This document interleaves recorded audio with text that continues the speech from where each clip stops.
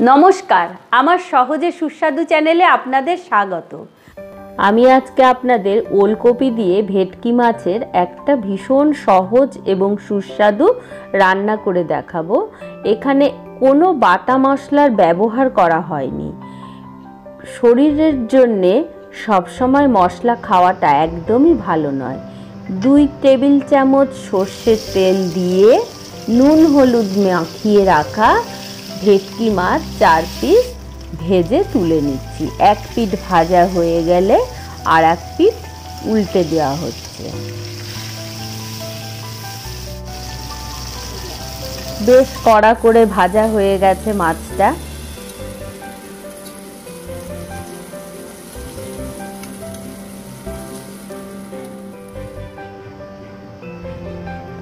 যেটুকু তেল আছে, তার মধ্যে আর একটু সামান্য এক টেবিল চামচ মতো তেল দিলাম। আপনারা চাইলে নাও দিতে পারেন।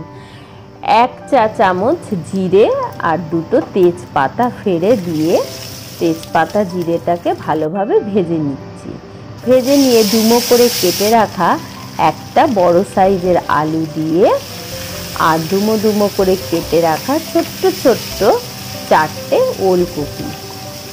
দিয়ে একটা টমেটো কুচিয়ে নিয়ে একটু মাঝখানটায় কড়াইয়ের দিয়ে দিলাম।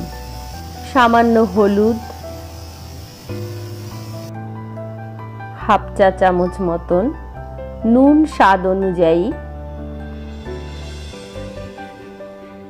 দিয়ে ঢাকা দিয়ে গ্যাসটা একদম কমিয়ে দিয়ে ঢাকাটা আলগা করে বারে বারে নেড়ে চেড়ে একটু যখন ঢাকাটা আলগা করছি, তখন গ্যাসটাকে একটু বাড়িয়ে নিয়ে নাড়াচাড়া করে নিচ্ছি। নিয়ে আবারও ঢাকা দিয়ে গ্যাসটা কমিয়ে রেখে দিচ্ছি। এইভাবে বারে বারে আমাকে কিন্তু এটাকে কষাতে হবে খুব ভালোভাবে। কষাতে কষাতে সেদ্ধ করে নিতে হবে।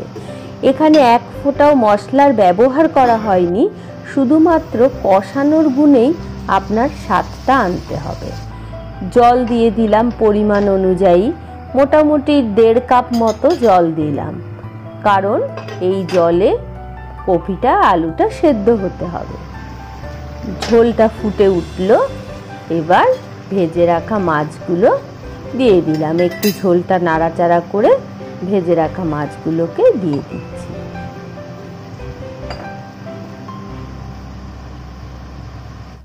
দিয়ে, ঢাকা দিয়ে এবার একটু মিডিয়াম ফ্লেমে গ্যাসটাকে করে রাখলাম।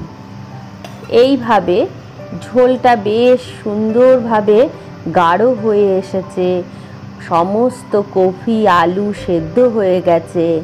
এবার কুচিয়ে রাখা ধনে পাতা এবং কাঁচা লঙ্কা দিয়ে